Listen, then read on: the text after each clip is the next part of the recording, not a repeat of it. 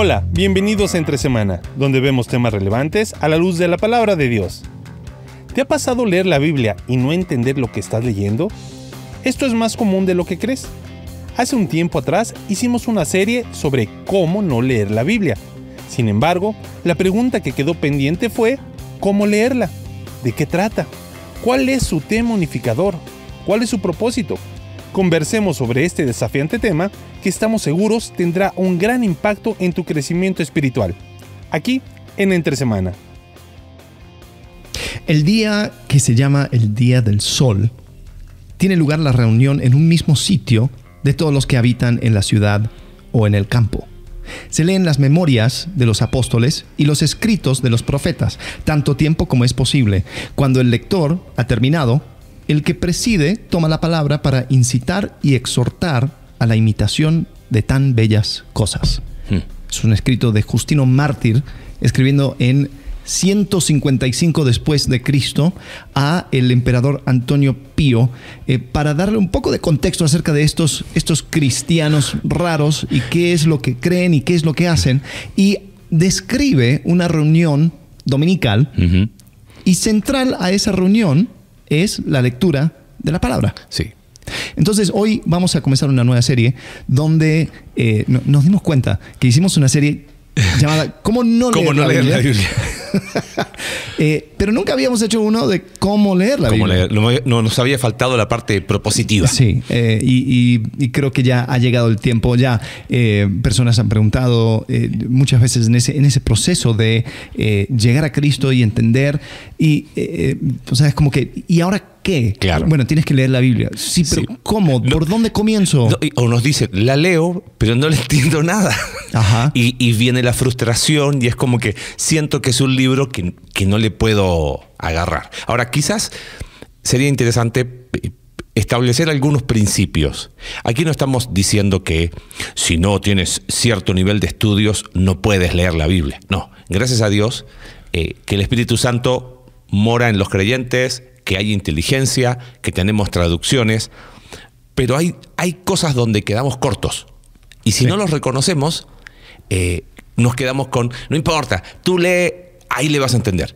Y, y creo que esa, esa actitud de, no te preocupes, si no la entiendes, no importa, ya cumpliste con leerla, Ajá. porque Dios prometió que no volverá vacía. Y es como que, espérame, no, tienes que entenderla.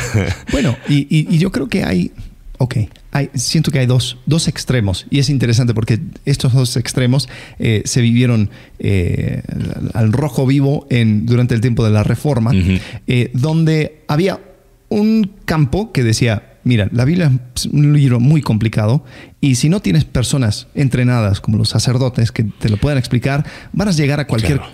conclusión. Es más, perdón, y como que eh, infundía miedo, cuidado Ajá, con leer la Biblia. sí. O sea, es, eh, estaba casi prohibido leerla para el vulgo. Sí. El, el pueblo no podía leerla. Sí, tú, tú no tienes las herramientas ni la capacidad para poder De leerlo. por, por eso fueron quemados varios de los precursores de la reforma. Eh, Claro. Wycliffe, Wycliffe fue, fue quemado por, por traducir la Biblia. Jan Hus también. También, en, en- en- en Praga, eh, él, él abogaba por, por un acceso a, a todas las personas que puedan tener acceso a la escritura y no. Sí, sí. Y estaba el otro lado, que también fue un extremo donde era, eh, mira, si yo tengo el espíritu, el espíritu Listo. me lo va a revelar y punto. Y ahí hay ciertos... em, ci- hay ciertos problemas, eh, está la, la- la rebelión en Munster, donde había una persona que dijo, no, yo tengo el espíritu, yo voy a interpretar la Biblia porque yo no necesito de nadie, y empezó a llegar a cualquier conclusión de que creo que como que era la reencarnación de David y también de Sí. Jesús y... Los reformadores radicales, Bueno, súper radicales. Y Lutero pasó el- la segunda parte de su vida peleando contra ese lado de las Ajá. personas.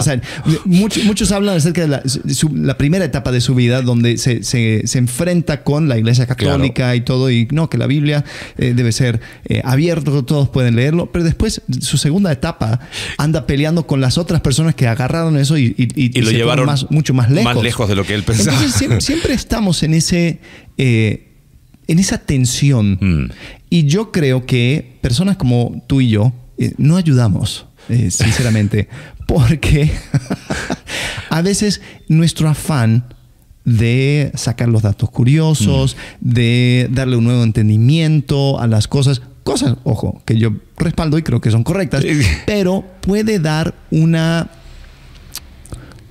una impresión de que, oh, si yo no leo Génesis, eh, así como me lo están diciendo, que con, y, tengo abierto también la, la Enuma Elish eh, y, la historia de Babilonia y, los conceptos eh, de, segundo templo y bla, bla, bla, bla, bla. Entonces nunca la voy a poder nada. Entonces, no, ¿para, ¿para qué intentar? voy a esperar la próxima serie de entre semana y, con eso me basta. Eso va a ser mi devocional. No, si, si esto es tu devocional, ya. Lee la Biblia. Por favor. Este, hay, aviso de exención de responsabilidad, como este este, podcast no reemplaza tu tiempo devocional, no reemplaza tu tiempo de oración, nada, ¿ok? Eh, este simplemente es un espacio para conversar, pero inclusive lo que tú decías, se nos han acercado personas que nos dicen, oye, pero ¿por, dónde empiezo? Sí. Eh, ¿qué, quizás se deberían ser cosas que una persona debería tener claras al momento de leer la Biblia. Y queremos, eh, a lo largo de, la, de esta serie, ir ir hablando como a distintos niveles, quizás a, principiantes, a personas que digan, mira, yo estoy por primera vez eh, eh, eh, por leer la, escritura, quizás personas que a lo mejor ya tienen un tiempo y dicen, mira, yo ya hay cosas que voy entendiendo y es como que simplemente me falta quizás organizar algunas cosas y no vamos a hablar de avanzado porque nosotros somos simplemente intentos de, estudiosos, eh, pero quizás dar algunas herramientas para los que quieran profundizar un poquito más. Mira, síguele por ahí y creo que va, va a ayudar. Eh, Bible Project hizo una serie, y si no me equivoco el nombre es eh, Cómo leer la Biblia. Son 20 videos. Sí. esta serie no va a durar 20 videos, no se preocupe, o sea, 20 episodios, no vamos a ir uno por uno, pero puede ser un buen recurso para quien quiera profundizar más. Oye, ahí está, y, de hecho vamos a tomar algunas ideas que ellos dan, pero hay quien, quiera entender un poquito de cómo, por dónde, cuál sería el, marco referencial grande, ahí hay una excelente herramienta como para, para poder profundizar. Así que bueno. Hablemos acerca de quizás el, la historia a, grandes rasgos. ¿Qué es la Biblia primero? ¿Qué, o sea, la Biblia, nosotros cuando lo agarramos, lo agarramos un libro. Sí. ¿No? De, la biblioteca y lo bajamos y, y, ahí dice la Santa Biblia. Claro. Y eh, y es un libro. Y dice, o sea, y tiene libros. Ajá. ¿Ok? Y los libros tienen capítulos y los capítulos tienen versículos. Entonces, o sea, desde afuera, nosotros lo, vemos como un libro, porque está junto a otros libros. Y los otros libros tienen también capítulos, tienen versículos. Algunos libros también tienen libros eh, o, partes, sección 1, sección 2. Como salmos. Y entonces es como que, eh, perdón, estoy hablando de libros como ah, okay, libros. ¿no? O sea, de, cualquier libro que, tú agarres, ¿no? Eh, y el error podría ser pensar que este libro, la Biblia, se lee como cualquier otro libro. Ajá. Y no. Yo creo que la primera cosa que tenemos que tener en mente cuando leemos la Biblia es que la Biblia se llama así porque es una biblioteca. Sí, es una colección de libros. Es una colección de libros, correcto. Entonces, cuando nosotros lo agarramos, tenemos que entender que estamos agarrando una colección de libros y lo tenemos en nuestra mano. Entonces esta colección de libros sí tiene una historia eh, que, se va avanzando, pero, pero no de la misma forma. No es un libro. Un libro, correcto. Exacto. Entonces, muchas personas comienzan en Génesis, eh, primero de, enero, y dicen, sí, ya voy a leer la Biblia, lo voy a leer tapa tapa. Estoy, estoy haciendo una lectura eh, anual. De, anual de la Biblia. Es pesado porque te, vas de vacaciones un par de días y después ya, no, cuatro días faltados. te atrasaste un poquito, ya no. Pero bueno, pero, ha, sido bueno. El, punto es, em, uno comienza y después llegas a Éxodo y empiezas, o sea, se, empieza a romper la narrativa. Vamos a hablar un poco más de esto en, detalle, pero, pero eh, llegas y, como que se, pierde el hilo. Sí. Y ya no entiendes, oye, y este Nehemías, pero y, eh, ¿por qué está aquí Esther? Y los eh, profetas que estaban allá y no. correcto. Entonces uno, uno empieza a ver eh, la Biblia como algo desconectado. Dice Mm. esto, sí. como libro, la verdad no lo están haciendo bien. Y, y- y la cosa es que no, no, no entendemos la construcción de la Biblia. Y después está la pregunta, y que, que la Biblia católica y que la Biblia Claro. protestante y que... Claro. ¿Cómo es? Es la misma. ahí, bueno, ahí vamos a hablar un poquito de eso, pero creo que eh, lo que tú dijiste es, usando esa analogía, yo no voy a una biblioteca y digo, ¿por, por, por dónde de- leo la biblioteca? Ajá. O sea, tengo que entender que si es una colección, quizás si es la biblioteca de, de un tema específico, van a estar todos los libros Ajá. relacionados a ese tema. Entonces, eh, ahora, ojo, quizás hu- hubo algo y, y hay alguno que debe estar, bueno, pero se supone que la Biblia es la revelación. Sí, claro, es la revelación de Dios, es su revelación para nosotros, es, tiene doble autoría, es el Espíritu Santo, eh, usando hombres. Este, a lo largo de, de más de mil años, 40 hombres, en, en- en un en tres idiomas que hoy no se hablan. O sea, porque aún el, el griego en que fue escrito no es el mismo griego moderno que se habla hoy. Entonces, son tres idiomas que no se hablan y, y- y de ahí ya empiezan algunas complejidades. No, no imposibilidades, pero sí es un desafío. Entonces, pero creo que el- el- lo primero que tú dijiste es fundamental. Si yo lo, lo entiendo como, ok, esto es una colección de libros, Ajá. entonces es probable que en algunos momentos sienta que se pierde cierto hilo. Entonces, pero por algo el Espíritu Santo los puso juntos. Entonces, yo entiendo, ok, es una colección, es más, los, los, eh, los judíos, ¿te acuerdas que eh, le, le llamaban el, el Tanakh? eh, al Antiguo Testamento y, y- y tenía que ver con la Torá, los Nebihim, los Ketubim, y ellos dividían en, en tres secciones porque ellos aún veían que, que- que su Antiguo Testamento tenía esas tres grandes secciones de ley, profetas y, y escritos, y ahí en escritos metían eh, los libros, eh, todo lo que es poesía en escritos, ¿no? Pero ya desde la antigüedad ellos lo veían así, como una colección de libros. Entonces, pensar de que esto es, ok, tengo, si bien lo tengo en un solo libro impreso, si todavía eres de los que usa Biblia impresa, que eso creo que tiene un, tiene un, valor agregado de, tenerla ahí y ojear y de repente ir, volver, eh, como que te- te ayuda a ver, ok, es un libro, pero es una colección de libros. Ahora, entendiendo eso, tengo que preguntar, ¿qué peligro hay de... No es prohibitivo, simplemente es, solamente sépalo que cuando tú tomas un versículo, estás tomando una sección, de una sección más grande, de una sección más grande, de un libro que pertenece a una colección de libros. Entonces, es probable que me cueste un poquito entender algunas cosas. Ahora, eso es la Biblia, pero ¿cuál sería su gran tema unificador? ¿Cómo, cómo podríamos verlo? ¿De qué trata? Eh, Dios se revela por la escritura, pero ¿cuál, cuál sería su propósito? Y ahí yo sé que nos metemos en, en tema que para algunos no, es, es interesante porque dice, no, la gloria de Dios es, es el gran tema unificador de la Biblia, sí, pero, pero eso no dice nada. O sea, eh, otros hablan de que la salvación es el gran tema unificador de la Biblia. Eh, yo no estoy muy de acuerdo con esa perspectiva, siento que es muy antropocéntrica y es como que eh, hace que todo se trate de venir y salvar al hombre.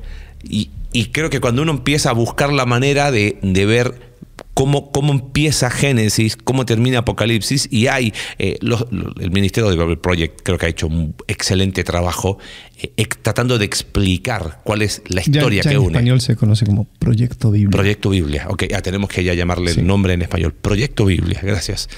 Eh, ellos han hecho un excelente trabajo tratando de ver cómo verlo como el cuadro general. Y creo que esto es importante al momento de estudiar la Biblia y al momento de leerla, porque es como un rompecabezas. O sea, ¿cómo, cómo puedo entender una, una pieza de un rompecabezas si no tengo presente? A lo mejor me va a costar, eh, si has armado rompecabezas grandes, es como teniendo aún la imagen, Ajá. no sé cómo, en qué parte es esta pieza, porque entonces, imagínate no tener la imagen y tratar de entender cómo encaja en algo que ni siquiera tengo la imagen. Bueno, y, y siguiendo esa, esa analogía, la primera cosa que uno busca con, lo- con el rompecabezas, especialmente una grande, es las esquinas. Claro. ¿no? Vamos a armar el cuadrito para, para entender dónde comienza, dónde termina. Claro. Y después vamos rellenando por dentro ahí más o menos, pero, pero sí tengo que entender por lo menos el marco. Sí. Entonces el marco de la Biblia tiene que ver con, eh, bueno, al- algunos usan palabras, eh, yo- yo creo que es, es demasiado simple, pero más o menos nos ayuda a entender dónde estamos ubicados en la historia, ¿no? Hablamos de, de creación, eh, caída. Ajá. eh, ¿Cuál era? Tú tenías... Eh, hay unos que hablan de creación, caída, promesa, redención y, y consumación. Ok.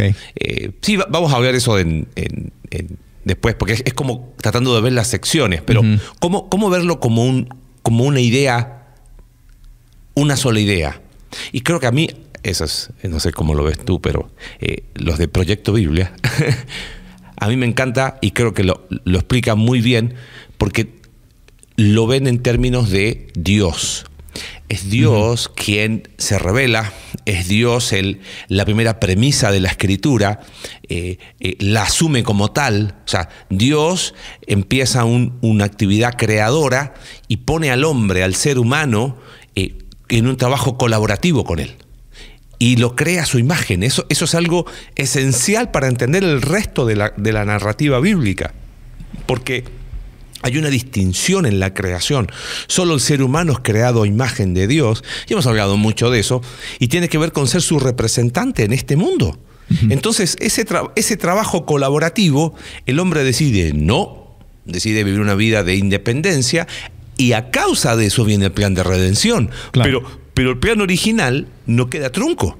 O sea, lo que trata el resto de la escritura es cómo volver a ese diseño original. Y por eso Apocalipsis tiene tanto eco de, de Edén. Sí, sí. Y, y creo que ese tema eh, es el que, el que unifica la idea de, de Dios teniendo su reino y colaborando con el ser humano para llevar a cabo los propósitos de su reino. Sí.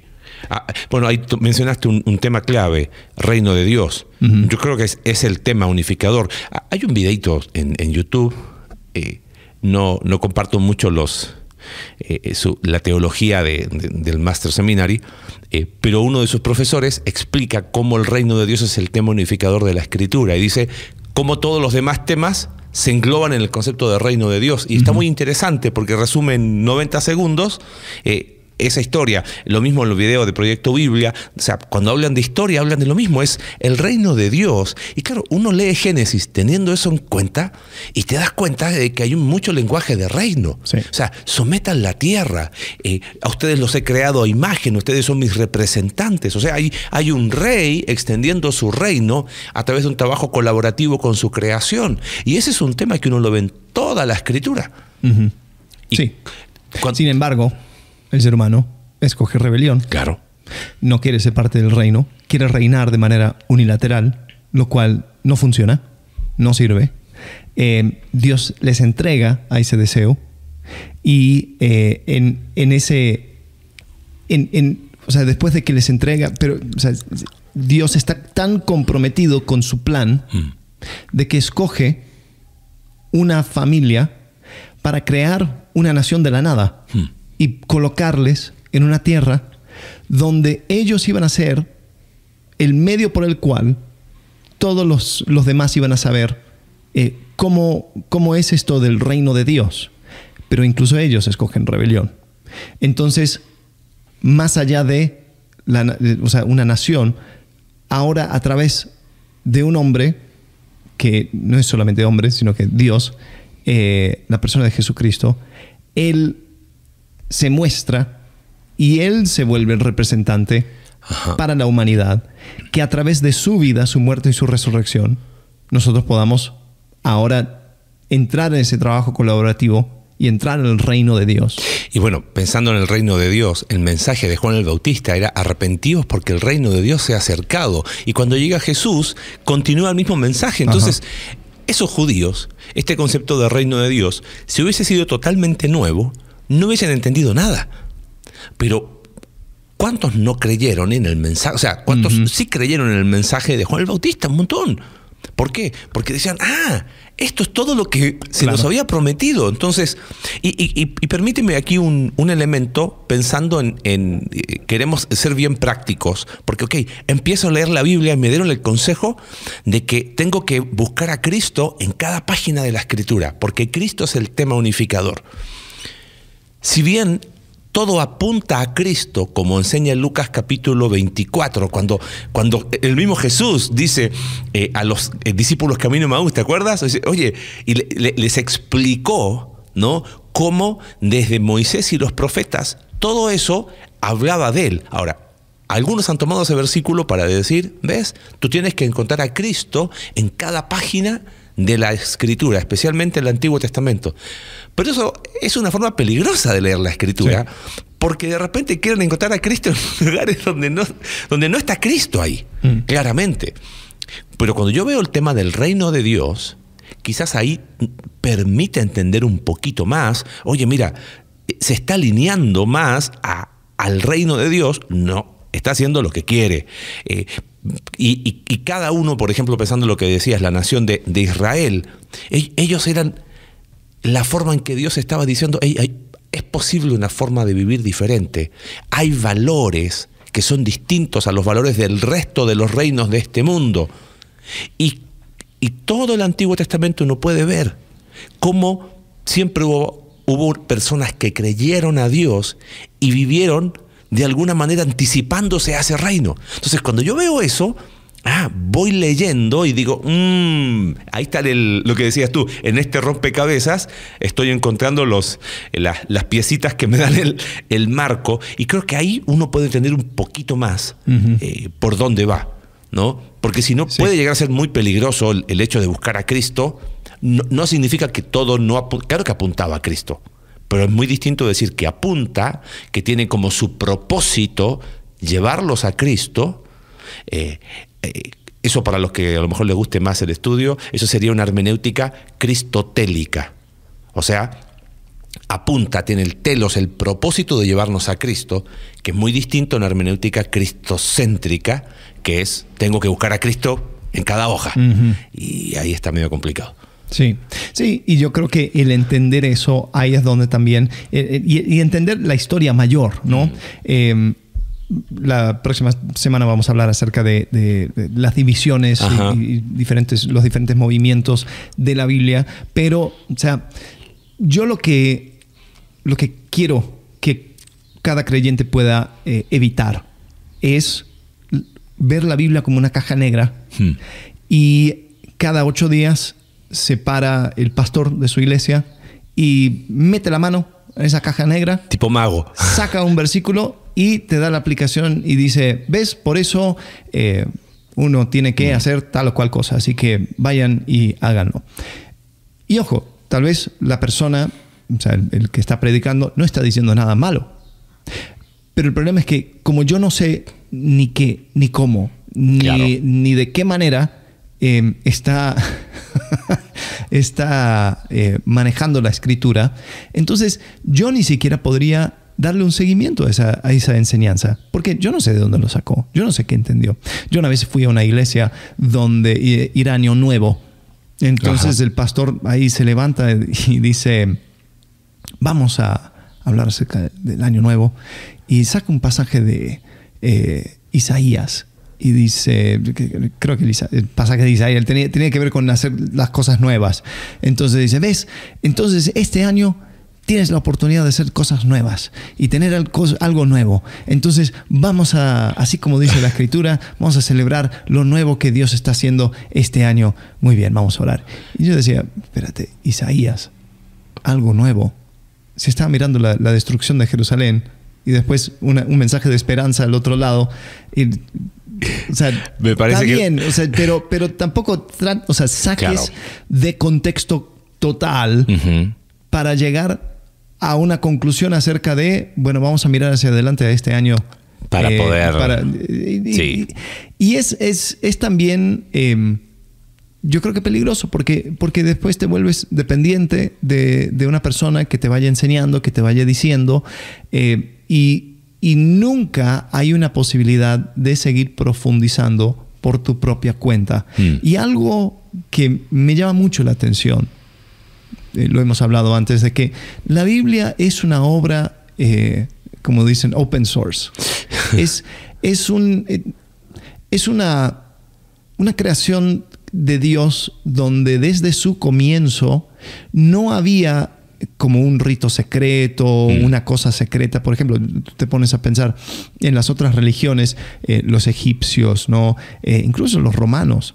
eh, todos tenían ritos religiosos secretos. Ajá. Entonces, nadie entendía lo que sucedía dentro de los templos eh, egipcios, excepto los sacerdotes, porque era algo secreto, Claro. era algo guardado. Solamente para exclusivo.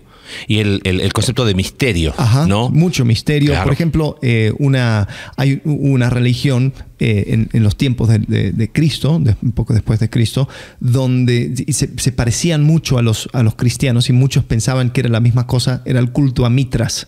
Hmm. Era, era una, una religión de Persia que, que los soldados romanos habían traído a Roma y se volvió muy, muy popular, especialmente entre, entre eh, soldados, lo- los militares. Y todo era secreto. Y hasta el día de hoy tenemos los edificios, las cuevitas donde ellos eh, entraban, habían, habían obras de arte, eh, pero muchas cosas no se entendían porque no se escribía nada, Mm. no, no se entendía eh, y em, pues eso era por diseño, había, había mucho misterio alrededor. En cambio, lo que Dios Jehová quiere para su pueblo es que todos sepamos la revelación acerca de su persona, Sí. que todos tengan acceso, que, o sea, en, en- en los tiempos de, de Moisés, y, y- y que todos sepan a qué, qué tenía que ser el sacerdote, cuáles eran las reglas, cuáles eran los... los eh, ahora, de que, de que no siempre lo hacían, Es otro tema. Es otro Y- tema. Y tan, y tan entendible era, pensando en lo que tú decías, contrastada con las religiones de misterio, que por ejemplo en el libro de Josué, cuando Raab dice, hemos oído que el Dios de Israel lo sacó, ¿cómo? ¿Cómo se enteraron? ¿Se supone que eso era algo exclusivo para algunas personas? No, o sea, era tan, eh, fue, la, fue una forma de, de Dios tan clara de revelarse que aún personas que no pertenecían a la nación de Israel podían, hemos oído, ¿no? Y, y pienso lo que dice Romanos, ¿no? Que la fe viene por el oír. Y, y- y de alguna manera es, es eso, hey, me, me doy a conocer de una manera clara y accesible. Ahora, pensando un poquito en cuál es el propósito, no sé si lo mencionamos, pero quizás sería bueno hacer toda la línea completa. ¿Cuál, ¿Cómo resumirías? Bueno, está el video de, Proyecto Biblia, de la historia de la Biblia, y ellos dicen algo muy interesante. Dicen, si- la Biblia es una colección de libros, pero que hablan de un solo tema. Entonces, si yo tengo claro ese tema, ya puedo empezar a leer la escritura y puedo empezar a entenderla. Por eso es importante definir cuál es ese tema. Hay que tratar de ser no tan reduccionistas, ¿no? Reino de Dios, dijimos, es una forma de verlo, pero, pero ¿en qué sentido? O sea, hay, hay que desarrollarlo un poquito más y lo que tú decías, ¿no? O sea, es, es Dios extendiendo, eh, o sea, creando, eh, poniendo al hombre, invitándole a un trabajo colaborativo, pero algo muy interesante y, y que en el video lo muestran. El ser creados a su imagen da la posibilidad de que ellos tomen una decisión y ellos deciden eh, dar la espalda a Dios, eh, con las consecuencias que eso implica. Después Dios con Abraham, es como lo, lo estudiamos en la iglesia, ¿te acuerdas? El pacto de Dios con Abraham es, hey, yo no he abandonado mi creación, pero otra vez la nación de Israel fracasa. y, y sobre ese cúmulo de fracasos es que aparece Jesús. Y Él es el, el, el, segundo Adán, Él es el verdadero Israel, Él es el que toma todas esas historias de fracasos y dice, yo lo cumplo. Y, y fíjate, por, ¿por qué lo digo? Como para poder ver que hay más continuidad entre Antiguo y Nuevo Testamento, porque hay algunos que dicen, no, mira, Antiguo Testamento no sirve de nada, veamos solo Nuevo, pero, pero si yo no entiendo el Antiguo, ¿cómo voy a ver el Nuevo? Entonces tengo que tratar de ver esa historia completa. Y, y Jesús cuando resucita dice, toda autoridad me es dada en los cielos y en la tierra, y ahora vamos a extender el reino de Dios, pero a través de hacer discípulos. Y el lenguaje de Mateo 28 tiene, tiene mucho que ver con el lenguaje de Génesis capítulo 1, pero ya no es, vayan y multipliquen, eh, eh, como se lo dijo en Génesis, sino vayan y multipliquen haciendo discípulos. Entonces, todo, todo lo que sigue es la historia del libro de Hechos, de cómo esa iglesia empezó a ser discípulos y empezó a extender el reino de Dios. ¿Y, y de qué trata el reino de Dios? Trata de perdón, trata de gracia, trata de misericordia, trata de justicia. Bueno, todo eso es lo que aparece en las epístolas para terminar con esa visión final de que el Cordero vence al dragón. Ah, buenísimo. Si yo tengo ese, ese marco clarito, quizás, no digo que ah, hoy, listo, empieza a leer y vas a entender todos y cada uno de los versículos, pero al menos tengo una, una imagen eh, de cómo está el rompecabezas armado completo. Y pienso que eso es súper, súper importante porque nos ayuda de algunas cosas no sacar versículos fuera de contexto, pensando en el ejemplo que dijiste recién del año nuevo. Es como, bueno, no importa. Yo sé, y, ojo, no sé si es más común de lo que me gustaría. Oh, desafortunadamente. Porque hasta lo reconocen. Dicen, yo sé que esto está fuera de contexto, pero no importa, apliquémoslo igual. Hay que, hay que armar la serie acerca de finanzas y entonces. Hay que forzarlo, hay que meterlo a fuerza. Y no, o sea, por eso tenemos que entender eh, de qué trata la Biblia, cuál es su propósito, porque eso nos va a permitir leerla y el ánimo que más queremos es empiecen a leer la escritura sin miedo. porque es que no la entiendo. Es que no, siempre va a haber una excusa para no leerla. Hoy hasta, hasta la leen por ti, o sea, en la aplicación, si no te da tiempo, la puedes escuchar, pero creo que el valor que tiene, pensando en lo que tú, la lectura que hacías al inicio, como, como la iglesia le daba un valor. ¿No? Y, aún nosotros hemos experimentado y hemos entendido el valor que tiene cuando nos ha tocado predicar. Vamos a leer el pasaje completo. Y, todo el pasaje, ¿sí? Los veintitantos versículos, vamos a leerlos, porque tienen, tiene un valor. ¿No? Eh, pero creo que ayuda mucho tener ese, ese cuadrito para decir, ok, vamos, quizás hay piezas que todavía me cuesta ver, pero sí tener ese, ese marco va a ayudar mucho a cómo seguir leyendo la escritura. Sí.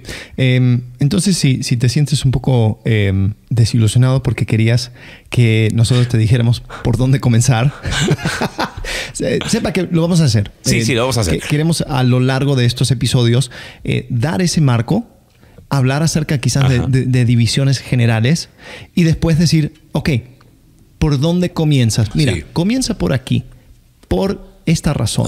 O sea, checa aquí, checa allá. Y para que también vayas agarrando quizás esa, esa habilidad de leer, entender y, y o sea, responder. Quería decir aplicar, pero hay, después vamos a hablar por qué no aplicar. Eh, pero, pero por lo menos sí responder, porque la, mm. Biblia es, un, es, una, eh, es una obra eh, maestra de Dios mm. que nos invita a responder y a entrar en esa misma historia. Sí.